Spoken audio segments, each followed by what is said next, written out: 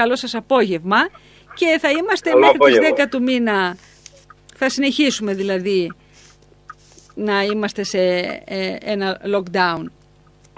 Ναι, κοιτάξτε κυρία Βαγγελινάκη, καλησπέρα καταρχήν, καλησπέρα, καλησπέρα σε όλους που μας ακούν. Ε, είναι γεγονός ότι είναι περίπου τώρα 2,5 με 3 εβδομάδες, διανύουμε την τρίτη εβδομάδα, που όλα, όλε, όλοι οι περιφερειακές ενότητες, οι νόμοι της Κρήτης είναι σε μια κατιούσα πορεία ικανοποιητικότατη. Ο μέσος εβδομαδίος κυλιόμενος όρος, ε, ε, μέσος όρος έχει μειωθεί κατά περίπου 40, 35 με 40%. Ε, υπάρχει μόνο στο Λασίθι μια μικρή σταθερότητα που δεν είναι όμως σε ψηλά νούμερα και γι' αυτό και το Λασίθι δεν έχει τέτοιο θέμα lockdown. Ε, όλοι περιμέναμε και το Ηράκλειο μαζί με το, Λασίθι, μαζί με το Ρέθυμνο και τα Χανιά να σταματήσει. Ε, υποθέτω, γιατί το σκέφτομαι και εγώ από το πρωί που μάθαμε τα νέα, ότι ο μόνος λόγος ενδεχομένως δεν υπάρχει κάποιος εμφανής λόγος, δεν υπάρχει κάποια συρροή ή ε, ξέσπασμα κάπου ή οτιδήποτε. Ο μόνος εμφανής λόγος επιδημιολογικά που εγώ μπορώ να βρω είναι ότι σε, σε πληθυσμιακές μονάδες μεγάλες όπως είναι η Περιφερειακή Ενότητα Ηρακλείου η, η επιδημιολογική αδράνεια είναι μεγαλύτερη. Και έτσι η Επιτροπή για μεγαλύτερη ασφάλεια φαντάζομαι περιμένει ακόμα μία εβδομάδα να σταθεροποιηθούν τα νούμερα και εφόσον δεν έχουμε κάποια αλλαγή προς το ρυθμό ε, μείωσης θεωρώ ότι την ερχόμενη Παρασκευή σίγουρα θα αρθεί το μέτρο. Δηλαδή δεν μπορώ να βρω κάτι το οποίο θα το ανατρέψει αυτό. Ναι, καλού κακού δηλαδή. Ε, ναι, πιστεύω ότι είναι θέμα, ναι. Ε, είναι, είναι μια μεγαλύτερη ομάδα πληθυσμιακή, έχει μεγαλύτερη αδράνεια που λέμε, δηλαδη ε, κατεβαίνει πιο αργά και ανεβαίνει πιο αργά, οπότε ε, θα υπάρχει το μέτρο. Μια, μια εβδομάδα ακόμα είπατε, γιατί βλέπουμε και τα νούμερα τα σημερινά που ανακοινώθηκαν 177 ε, στην ναι, Κρήτη, που είναι ναι, ναι. πολύ ε, μικρός αριθμός, σε σχέση βέβαια με τα νούμερα που βλέπαμε το προηγούμενο διάστημα. Ακριβώς, αυτό, όχι ότι είναι μικρός αριθμός, αλλά ναι. είναι μικρός σε σχέση με ό,τι βλέπαμε. Ακριβώς, ναι. ακριβώς. Με τα 500 και τα 550 που είχαμε μάθει να βλέπουμε για κάποιο διάστημα. Α, αυτή η πτώση τώρα, ε, κύριε Λουμπούνη, πού, πού εκτιμάτε ότι οφείλεται; Αυτά, δηλαδή αυτή η καλή πορεία, αν μπορούμε να την πούμε έτσι. Ναι, νομίζω ότι άρχισε μία εβδομάδα μετά το 15 Αύγουστο περίπου, 5-7 μέρες μετά το 15 Αύγουστο, που πιστεύω, προσωπική μου εκτίμηση και σύμφωνα με πολλούς άλλους, ότι είχαν, έγινε άμεσα μετά τον, Αυγουστο, τον 15 Αύγουστο η αποχώρηση των Ελλήνων επισκεπτών του στο νησι Δηλαδή οι Έλληνες ε, τουρίστες ή από την υπόλοιπη Ελλάδα ή οι Έλληνες συγγενείς των Ηρακλειωτών που είχαν, ήρθαν για τις διακοπές τους και φύγανε με αποτέλεσμα να μειωθεί πάρα πολύ η, η διασπορά και η διάχυση στους Έλληνες. Τονίζω στους Έλληνες γιατί τα κρούσματα σε αλλοδαπούς επισκέπτες του νησιού υπάρχουν αλλά είναι πάρα πολύ λίγα. Ίσως την τελευταία εβδομάδα ποσοστιαία είναι λίγα παραπάνω, αλλά είναι σε απόλυτους αριθμούς περίπου σταθερά. Είναι ναι. δηλαδή το, το 1 στα 10, λίγο λίγο ίσως παραπάνω είναι σε αλλοδαπούς. Το 90% αφορά γηγενείς, ε, δικούς μας Έλληνες, mm. συντοπίτες μας. Ε, που σημαίνει ότι με, με, που μειώθηκε η διασπορά από τους Έλληνες, άρχισαν σιγά σιγά να υποχρεούν και τα κρούσματα και φαίνεται ότι θα μεταφερθούν στα μεγαλύτερα αστικά κέντρα Αθήνα, Θεσσαλονίκη κλπ. Ε, βλέπουμε δηλαδή, επειδή ε, φοβόμασταν ότι με το να ανοίξει ο τουρισμός, να έρθει κόσμος, να έρθουν τουρίστες, ε, αυτό ίσως να ήταν επικίνδυνο από την άποψη ότι θα είχαμε και περισσότερα κρούσματα. Αλλά βλέπουμε αυτό που λέτε τώρα και εσείς, ότι ήρθαν, ε, ήρθαν τουρίστες, ε, ήρθαν άνθρωποι από το εξωτερικό, αλλά ε, ευτυχώς δεν είχαμε αυτό που ίσως σκεφτόμασταν ότι μπορεί ναι, να συμβεί. Έχετε δίκιο. έχετε δίκιο. Αυτό το είχαμε δει και πέρσι. Οι αλλοδαποί επισκέπτες από τις άλλες χώρες, ειδικά μάλιστα φέτος που υπάρχουν είναι εμβολιασμένοι σε ένα σημαντικό ποσοστό οι επισκέπτες και επίσης για τους υπόλοιπους γίνεται αυστηρά με rapid, rapid test στα χέρια ή πιστοποιητικό νόσησης ε, η, και η συνάφειά τους είναι πάρα πολύ μειωμένη με εμάς τους ε, γηγενείς. Μην ξεχνάτε ότι μένουν στα ξενοδοχεία, ε, δεν, δεν μπαίνουν μέσα στις οικογένειές μας, δεν συμμετέχουν στις κοινωνικές εκδηλώσεις της δικές μας ή, ή εν πάση περιπτώσει συμμετέχουν σε ένα πολύ μικρό βαθμό. Αντίθετα, αυτό που, αυτός που συμμετέχει είναι ο Έλληνας επισκέπτης και ιδιαίτερα οι, οι, οι Ηρακλειώτες αν θέλετε και οι κριτικοί που ζουν σε άλλα μέρη της Ελλάδας ήρθαν καλοκαίρι στα μέρη τους, στα χωριά τους, στις, mm-hmm. στις οικογένειές τους, στις πατρογονικές mm-hmm. και συνεχεία ξαναγυρίσανε. Α, αυτή η αυξημένη συνάφεια έφερε και τα αυξημένα ε, κρούσματα όλο το διάστημα που είχαμε το τελευταίο, με δεδομένο πάντα ότι στην Κρήτη έχουμε τα πρωτεία της Δέλτα και τώρα σιγά σιγά και σε όλη την Ελλάδα. Ναι, και μας έρχεται και μια άλλη, δηλαδή έτσι όπως διαβάζουμε, αυτή η μη ε, που αρχίζει και συζητιέται ε, κύριε Λουμπούνη. Ναι, ε, κοιτάξτε, οι, οι αγωνίες μας είναι τώρα πραγματικά δύο πράγματα. Το ένα είναι να ανοίξουν τα σχολεία, να δούμε πώς θα λειτουργήσουν πρακτικά, σε ένα πρακτικό επίπεδο όλα τα νέα ε, πρωτόκολλα και αντιλήψεις που έχουν αρχίσει να ακούγονται, που δεν τα έχουμε δει βέβαια σε κείμενο ακόμα χειροπιαστά, να τα διαβάσουμε και να τα δούμε. Το ένα λοιπόν τα σχολεία, μια αγωνία πραγματικά την έχουμε, γιατί αν τα σχολεία δουλεύουν με ένα πολύ χαμηλό, μια πολύ χαμηλή διασπορά θα είναι ευτύχημα για όλους, θα είναι μεγάλη ανακούφιση για την κοινωνία, για τις οικογένειες, για τους γονείς, με δεδομένο μάλιστα ότι υπάρχει ένα πολύ μεγάλο ποσοστό των πάνω από 65 είναι εμβολιασμένο. Αυτή τη στιγμή είναι πάνω από 80% το πάνω από 65. Ίσως και 85 την ώρα που μιλάμε. Ναι. Ε, το δεύτερο, η δεύτερη αγωνία είναι αυτό που είπατε. Το νέο στέλεχος που ακόμα οι πληροφορίες είναι αυλιχρές, δεν έχουμε σαφή εικόνα περί τίνος πρόκειται. Είναι ένα διαφορετικό στέλεχος, ναι μεν που φαίνεται ότι διαφεύγει από τα εμβόλια, αλλά δεν ξέρουμε τη μεταδοτικότητά του. Και αυτό είναι το σημαντικότερο μέγεθος, γιατί η μεταδοτικότητα είναι εκείνη που θα καθορίσει την εξάπλωση. Αν είναι ένας στέλεχος που δεν έχει τη μεταδοτικότητα του ΔΕΛΤΑ, ε, πραγματικά δεν έχουμε να φοβόμαστε κάτι. Θα δώσει κάποια κρούσματα, αλλά θα αυτοπεριοριστεί σε πολύ μικρούς αριθμούς. Ναι. Αντίθετα, αν έχει μεγαλύτερη μεταδοτικότητα από το στέλεχος ΔΕΛΤΑ, αυτά που οι κανόνες επιδημιολογίας λένε ότι θα κυριαρχήσει όπως κυριαρχήσει το ΔΕΛΤΑ. Άρα δεν είναι καλά τα μαντάτα σε αυτό. Οπότε θα πρέπει να δούμε τι θα πούνε οι ειδικοί επιστήμονες που θα αναλύσουν ε, τα νέα στελέχη όσον αφορά στα άτομα που τα βρήκανε και αναλόγως θα ακούσουμε και εμείς τις οδηγίες. Τις οδηγίες, ναι. Ε, πάντως είναι μακρύς ο δρόμος έτσι όπως το βλέπουμε κύριε Λουμπούνη. Ε, υπάρχει το θέμα ε, με, τις, με τους εμβολιασμούς, υπάρχει ε, το θέμα με τα παιδιά τώρα που είπατε ότι αυτό και αν είναι ένα τεστ ε, πολύ δυνατό για το σύστημα και ελπίζοντας για ό,τι καλύτερο. Ε, γιατί... Ναι, πραγματικά, πραγματικά το ελπίζουμε για τα ναι. σχολεία.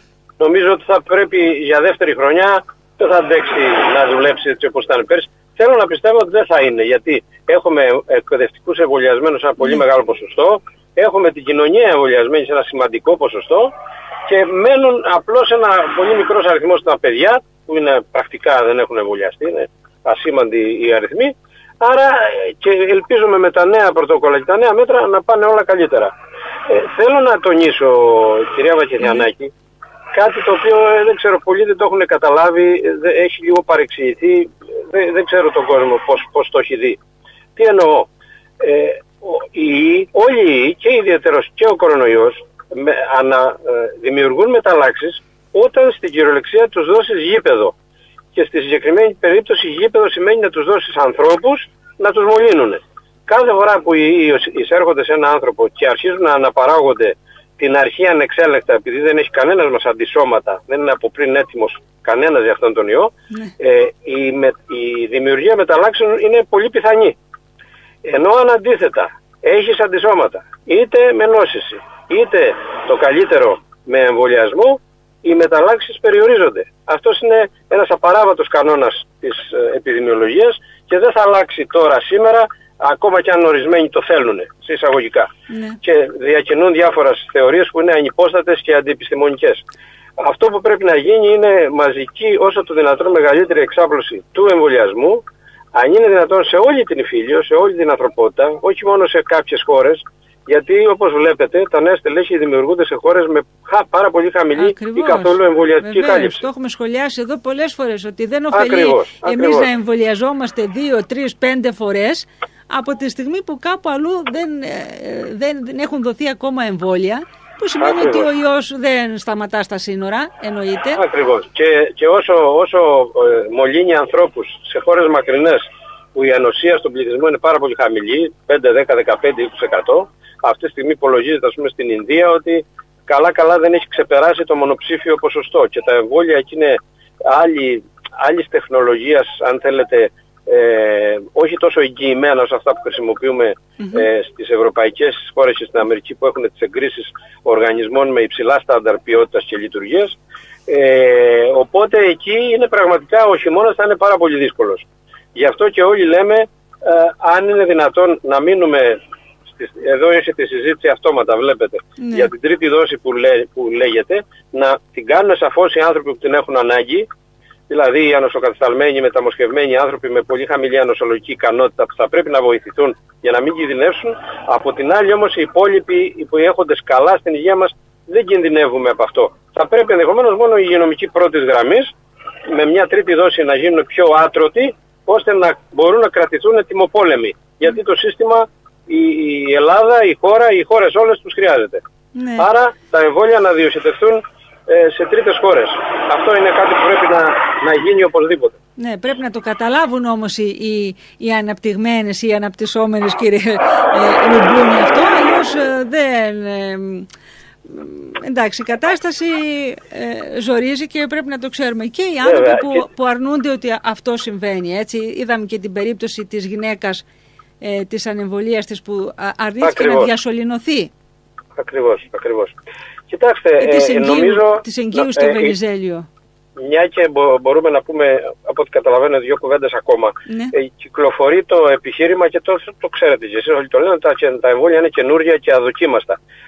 Εγώ θα έλεγα τα εμβόλια δεν είναι κρασί. Δεν περιμένουμε να παλιώσει για να γίνει καλό. Τα εμβόλια δοκιμάζονται σε αριθμούς ανθρώπων αυτή τη στιγμή τα εμβόλια του κορονοϊού είτε αρέσει σε κάποιους είτε δεν αρέσει είναι τα πλέον δοκιμασμένα εμβόλια στην ιστορία των εμβολίων. Έχουν γίνει ειδικά το mRNA εμβόλιο πρακτικά πάνω από 3 δισεκατομμύρια δόσεις και συνολικά έχουν γίνει 5,2. Ε, έχουν φανεί ό,τι είναι να φανεί, έχει φανεί. Και να πούμε ε, μια κουβέντα γενική, για όλα τα εμβόλια οτιδήποτε ανεπιθύμητη ενέργεια μπορεί να συμβεί συμβαίνει μέχρι το διάστημα των δύο μηνών. Πέραν των δύο μηνών από την ημέρα που το κάναμε, την τελευταία δόση, πρακτικά δεν έχει εμφανιστεί ποτέ τίποτα. Ούτε από αυτό το εμβόλιο, ούτε από άλλα εμβόλια. Ε, έχουν δημοσιευτεί πολύ μεγάλες μελέτες. Η πρόσφατη είναι από την Ηνωμένο Βασίλειο, όπου σε 29 εκατομμύρια ε, εμβολιασμένους και ένα περίπου αριθμό 2,2 αν θυμάμαι καλά εκατομμυρίων εμβολίαστων δημιουργήθηκαν συγκριτικά, ε, παρατηρήθηκαν συγκριτικά συγκριτικές μελέτες και η υπεροχή των εμβολίων στην νόσηση και στις ε, α, ανεπιθύμητες ενέργειες που αφορά την ίδια την νόση, δηλαδή τα συμπτώματα που σου δίνει η νόση, είναι, η υπεροχή είναι συντριπτική ναι. ως προς την ασφάλεια του ανθρώπου που το κάνει. Κατά συνέπεια, οι άνθρωποι πλέον πρέπει να δείξουν εμπιστοσύνη στην επιστήμη οι, οι επιστήμονες που έβγαλαν αυτό το εμβόλιο είναι οι ίδιοι επιστήμονες που βγάζουν τα εμβόλια που κάνουμε στα παιδιά μας, τώρα τόσα Ε, δεν έχουν κανένα λόγο α, διαφορετικό σε αυτό το εμβόλιο να κάνουν κάτι που θα κάνει κακό στους ανθρώπους. Η σκέψη είναι πολύ απλοϊκή. Ε, ίσα ίσα που οι, οι επιστήμονες αυτοί και οι εταιρείες κατά προέκταση θέλουν να είμαστε ασφαλείς για να συνεχίσουμε να ζούμε και να είμαστε αν θέλετε πελάτες τους με αυτή την έννοια το λέω. Γιατί ναι, πολλοί ναι, χρησιμοποιούν ναι. και αυτό το επιχείρημα, ότι το κάνουν για να πλουτίζουν οι, οι φαρμακευτικές. Αλλά είναι πραγματικά αστείο. Ε, εάν δηλαδή οι φαρμακευτικές πλούτιζαν από τα εμβόλια, ξέρετε τα εμβόλια είναι το 3% του παγκόσμιου τζίρου της φαρμακευτικής βιομηχανίας. Το υπόλοιπο 97% είναι όλα τα άλλα συσκευάσματα, τα οποία πάρα πολλές χρόνιες ασθένειες απαιτούν να τα παίρνεις όλη στη ζωή. ναι. Έτσι, ναι. Είναι αστείο πραγματικά το επιχείρημα ότι γίνονται για τα χρήματα αυτά όχι καθόλου δεν γίνεται για τα χρήματα, το αντίθετο γίνεται για να μας διατηρήσουν υγιείς να ζήσουμε όσο το δυνατόν περισσότερα χρόνια με ασφάλεια. Ναι. Δεν αμφιβάλλουμε για το κέρδος, γιατί πολλούνται αυτά τα, πολλούνται όπως και τα φάρμακα, πολλούνται και τα εμβόλια. Ε, το θέμα είναι να αξιολογούμε ανάλογα με τη στιγμή που βρισκόμαστε και τον κίνδυνο ε, κύριε Λουμπούνη ε, και το τι μπορούμε να κάνουμε δεν έχουμε πολλά περιθώρια. Θα μου πείτε, τα έχουμε πει τόσες φορές, τα έχετε πει και εσείς, τα έχουν πει και οι συνάδελφοι, τα λέει και όλος ο κόσμος έξω. Αυτοί που είναι να μην πιστούν δεν πείθονται με τίποτα ε, κύριε Λουμπούνη, το βλέπουμε και στην πράξη δηλαδή. Άνθρωποι χάνουν τη ζωή να... τους. Ναι, οφείλουμε όμως να συνεχίσουμε να τα λέμε, να προσπαθούμε ναι έστω και κάθε φορά που μιλάμε ένας να πείθεται είναι κέρδος ε, και στο κάτω-κάτω της γραφής τους υπόλοιπους θα αναλάβουμε εμείς οι εμβολιασμένοι να τους προστατέψουμε. Το θέμα είναι ότι είναι πραγματικά δύσκολο γιατί είμαστε ακόμη σε όχι καλά νούμερα.